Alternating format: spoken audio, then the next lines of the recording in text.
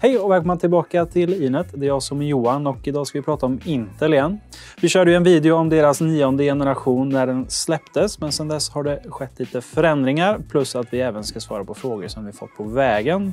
Och det är framförallt två frågor som har dykt upp väldigt ofta, så vi tänker vi bemöter dem med en video. Första frågan är vad är F-serien för någonting? Ja, det har dykt upp processorer som har suffixet F och så har vi även ofta fått frågor om vad B360 och Z390 chipseten är för skillnad på dem. Så vi tänkte helt enkelt gå igenom. Vi börjar med processorerna. F-serien det är helt enkelt att de inte har någon integrerad grafik. F-serien kommer antingen som bara F, men den kan även komma som KF. K, som ni känner till sedan tidigare, är ju överklockningsbara processorer. Så KF är alltså att du har en överklockningsbar processor utan integrerad grafik medan F då får du en icke överklockningsbar processor utan grafik. För de allra flesta spelar inte det här någon roll för man kör alla bildkällor genom ett dedikerat grafikkort om man är en gamer. Men det finns ju ändå gånger man vill ha integrerad grafik. Framförallt och mest uppenbart om man inte har ett dedikerat grafikkort så är det bra att kunna få bild ifrån datorn och då får man endast det genom den integrerade grafiken. Men en annan funktion som man inte ofta tänker på det är att i vissa program så används den integrerade grafiken utöver den dedikerade.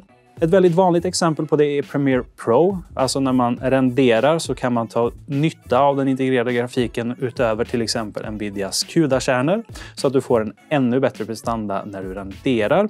Och detta vill vi verkligen belysa att det går du miste om ifall du köper en F-processor. Men är du en gamer med ett grafikkort och inte renderar så kommer du inte märka någon skillnad, så var inte rädd för F-modellerna. Och för att återiterera med nionde generationen, det är ju just nu världens mest kraftfulla konsumentserie.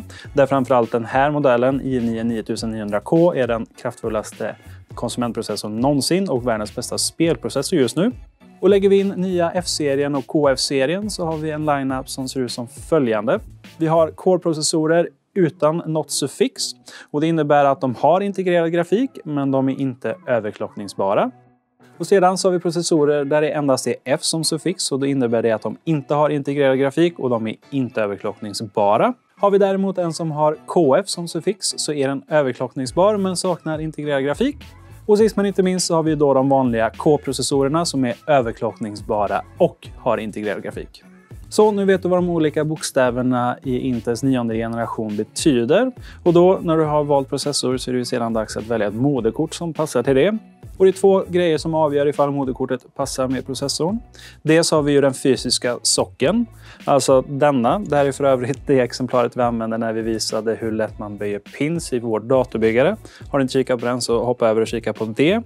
Så socken är alltså hur den är utformad och hur många stift det är. Men en annan sak som man också behöver ta i åtanke är chipsetet eller kretsuppsättningen. Den sitter här nere och den här kretsuppsättningen, även kallat chipset, då, den avgör vilka funktioner och anslutningar vi kan få ut av vårt moderkort. Processorn har en maxkapacitet som beroende på vilket chipset man då har kan mötas. Och för Intels nionde generation så har vi två primära chipset som används för vanliga datorer. Vi har Z390 och B360. Och B360 är ett enklare chipset du hittar på billigare moderkort. Det här är framförallt ett chipset som är tänkt för exempel färdigbyggda datorer där man har ett fast antal grejer som ska på från början och har inte lika mycket utrymme för expandering. Medan fokuset med Z390 är tvärtom. Där får man tillgång till allt plus att det även går att överklocka för bättre livslängd. Och kikar vi på vad man kan och inte kan med de två modellerna och börjar med B360 så kan man inte överklocka varken processor eller minnen. Det kan man däremot med Z390 där man kan överklocka både processor och minnen för bättre livslängd. Så med andra ord, köper du en K-processor så rekommenderar vi starkt att köra ett Z390. Sedan så skiljer de sig även i antal PCI ie-lanes.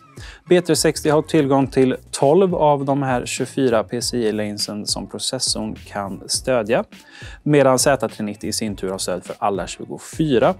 Detta kommer påverka till exempel hur många M2-diskar du kan använda.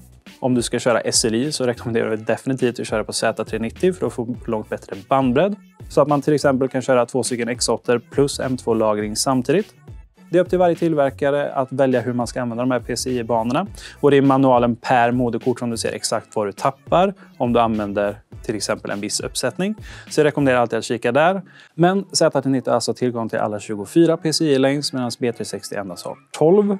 Med andra ord kommer de mycket snabbare gå in på att använda chipsets bandbredd, vilket till exempel stjäl SATA-platser eller andra grejer beroende på vad det är för moderkort.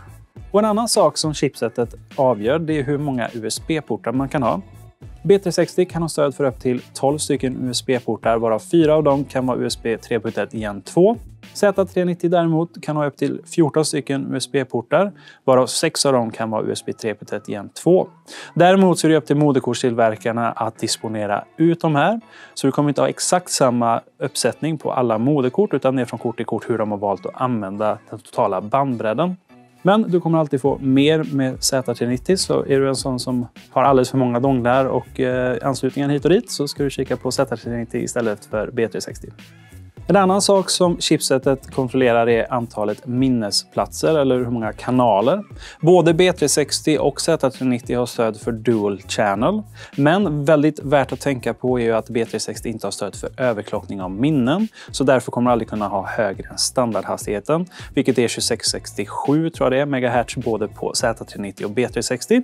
Medan på Z390 då kan du ha över det tack vare överklockningsbarheten. Sedan så saknar också B360 RAID-konfiguration funktioner, vilket Z390 har.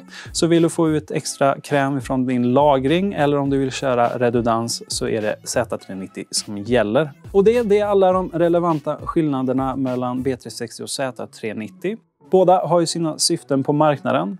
Ska du till exempel bygga ett enklare system som du ska byta allt på en och samma gång vid ett senare tillfälle så är B360 kanske ett bättre alternativ för att du får bra med prestanda nu direkt men du får inte samma expansionsmöjligheter. Vill du däremot kunna få ut max ur din processor, både vad gäller USB, PCIe-lanes, men framförallt överklockning av både processor och minnen, så är det Z390 som gäller och det är den som ger bäst livslängd. Och kombinerat till exempel med en sån här i9 så kommer du få en processor och moderkortskombination som är bäst just nu och som håller väldigt länge.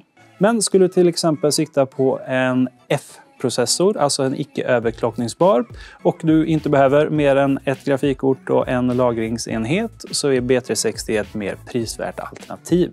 Och vill du veta mer om Intels nionde generation gjorde vi som sagt en lanseringsvideo där vi gick igenom alla familjemedlemmar i nya Core-serien. Så vill du ha lite mer kött på benen innan du väljer specifik processor så kan vi kika på den. Vi länkar till den nedan.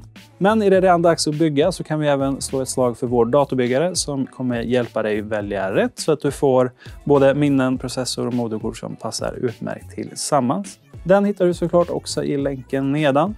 Men nu så tackar jag för den här gången. Jag är Johan på Inet och det här var en liten extra genomgång av Intels nionde generation.